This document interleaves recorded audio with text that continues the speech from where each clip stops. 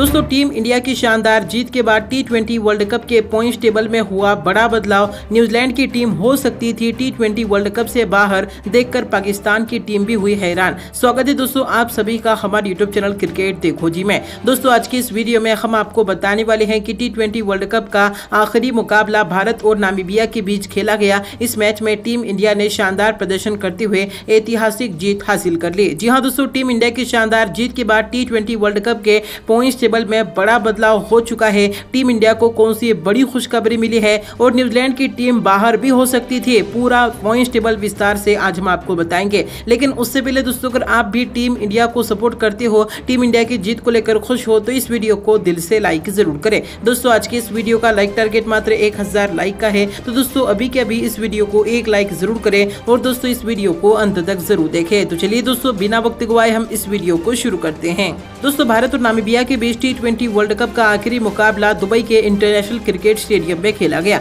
इस मैच में team India के कप्तान विराट कोहली ने टॉस जीता और पहले गेंदबाजी करने का फैसला किया। टॉस हार कर पहले बल्लेबाजी करने उतरी नामीबिया की शुरुआत ठीक ठाक रही। सलामी बल्लेबाजों ने सूझबूझ भरी बल्लेबाजी की। लेकिन फिर माइकल चौदह रन बनाकर पवेलियन लौट गए तो वहीं पर स्टीफन वार्ड भी इक्कीस रन बनाकर चलते बने। इसके बाद कप्तान इरसमस बारह रनों की पारी खेलकर पवेलियन लौट गए तो वहीं पर डेविड वीज़ा ने छब्बीस रनों का अहम योगदान दिया। इस तरह से नामीबिया की टीम ने बीस ओवर की पारी में आठ विकेट के नुकसान पर 132 रन बना लिए थे। 133 रनों के लक्ष्य का पीछा करने उतरी टीम इंडिया की शुरुआत शानदार रही। दोनों ही सलामी बल्लेबाजों ने आक्रामक बल्लेबाजी करते हुए नामीबिया के गेंदबाजों की जमकर पिटाई कर दी। उसके बाद रोहित शर्मा सैंतीस गेंदों में दो छक्कों की मदद से छप्पन रन बनाकर पवेलियन लौट गए तो वहीं पर के राहुल भी छत्तीस गेंदों में दो छक्कों की मदद से चौवन रनों की पारी खेलकर नाबाद रहे। अंत में सूर्य कुमार यादव ने भी पच्चीस रनों का अहम योगदान दिया और इस तरह से टीम इंडिया ने पंद्रह ओवर में ही नौ विकेट से इस मुकाबले को जीत लिया। तो चलिए दोस्तों, अब बात कर लेते हैं टीम इंडिया की शानदार जीत के बाद टी वर्ल्ड कप के पॉइंट टेबल में कौन सा बड़ा बदलाव हो चुका है,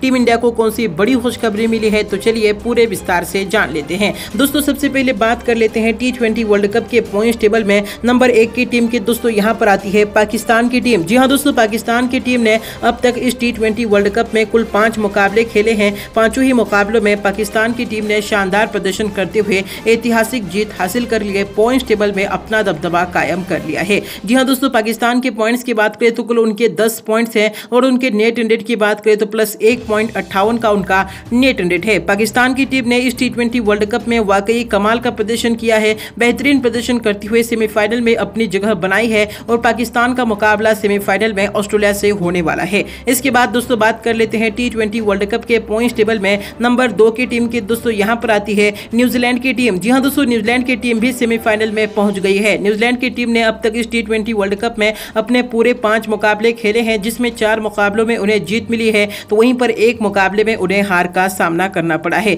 जी हाँ दोस्तों, न्यूजीलैंड के पॉइंट्स की बात करें तो कुल उनके आठ पॉइंट्स हैं और दोस्तों, उनके नेट नेट की बात करें तो प्लस एक पॉइंट सोलह का उनका नेट नेट है। न्यूजीलैंड का नेट नेट काफ़ी कम है और न्यूजीलैंड की टीम सेमीफाइनल में पहुँच गई है और न्यूजीलैंड का सेमीफाइनल का मुकाबला इंग्लैंड के साथ खेला जाने वाला है। न्यूजीलैंड की टीम भी सेमीफाइनल में आखिरकार प्रवेश कर चुकी है। जी हाँ दोस्तों, यह दो सेमीफाइनल की टीमें हैं। इसके बाद दोस्तों बात कर लेते हैं टी वर्ल्ड कप के पॉइंट टेबल में नंबर तीन की टीम की दोस्तों यहाँ पर आती है भारतीय टीम। जी हाँ दोस्तों, भारतीय टीम ने भी अब तक इस टी वर्ल्ड कप में अपने पूरे पाँच मुकाबले खेल चुकी है, जिसमें तीन मुकाबलों में उन्हें जीत मिली है तो दो मुकाबलों में उन्हें हार का सामना करना पड़ा है। जी हाँ दोस्तों टीम इंडिया के पॉइंट्स की बात करें तो कुल उनके छह पॉइंट्स हैं और उनके नेट इंडेट की बात करें तो प्लस एक पॉइंट चौहत्तर का उनका नेट इंडेट है। जी हाँ दोस्तों टीम इंडिया का नेट इंडेट सबसे ज़्यादा है। आप समझ सकते हो, अगर अफ़गानिस्तान की टीम न्यूजीलैंड को हरा देती तो टीम इंडिया का सेमीफाइनल का टिकट पक्का था। टीम इंडिया का नेट रेट इस टी ट्वेंटी वर्ल्ड कप के पॉइंट टेबल में सबसे ज़्यादा है, पाकिस्तान से भी ज़्यादा है।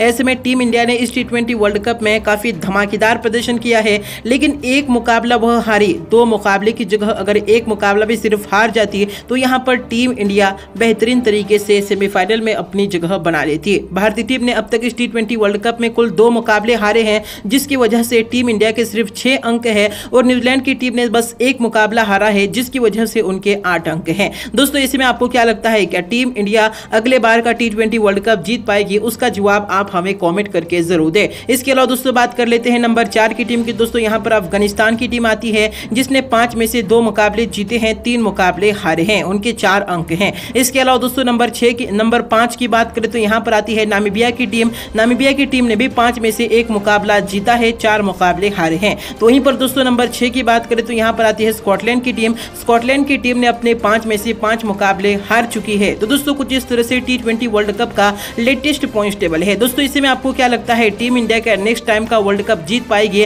और भारतीय टीम का कप्तान किसे बनाना चाहिए, उसका जवाब आप हमें कॉमेंट करके ज़रूर दे। इस वीडियो को एक लाइक ज़रूर करें चैनल को सब्सक्राइब ज़रूर करें। धन्यवाद।